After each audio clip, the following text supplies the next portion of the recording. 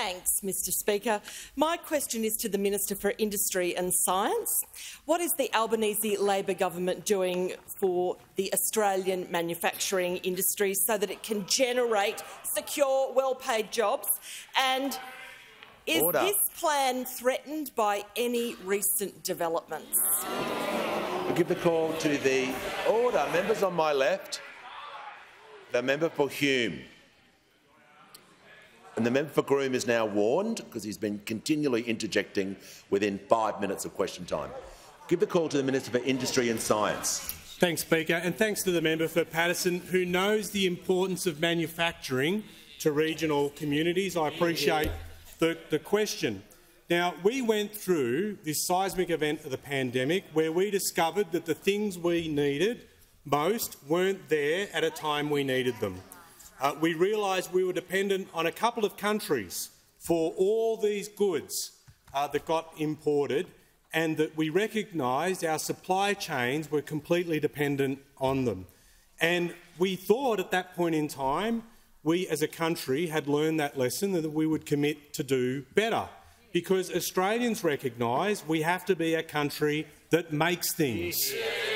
And modern economies need strong manufacturing capability if they're going to keep going on into the long term. And manufacturing matters because it generates full-time, secure, well-paying jobs.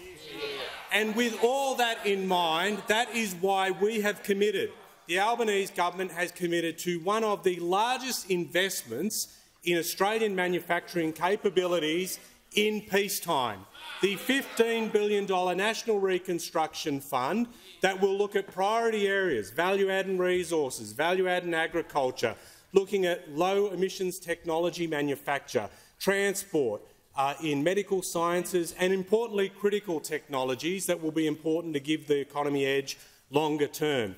Independently run, with an investment mandate, looking at delivering a return to the taxpayer, building capability and not a colour-coded spreadsheet in sight.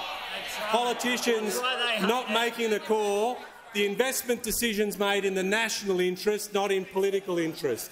And given all that, what happens? on my left, the happens? Leader of the Opposition. The coalition roars back. The coalition roars back to life. The unreconstructed Tony Abbotts, with no doubt their National Unreconstruction Fund in the wings there.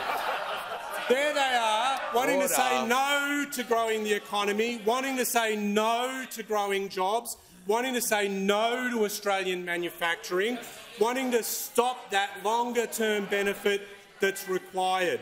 The, and their criticisms from a bunch of people who bought you sports rorts, they bought you regional rorts, and, and they spent in the weeks leading into election manufacturing grants not being there, only interested in manufacturing when it manufactures a vote. That is the only time they're interested. Being lectured on transparency when they had a secret industry minister in their ranks. and they're telling us we should be transparent. I mean, please, it is a joke. We will do what's right for this country. We will make Order. sure manufacturing is revitalised. We'll do the expired. right thing.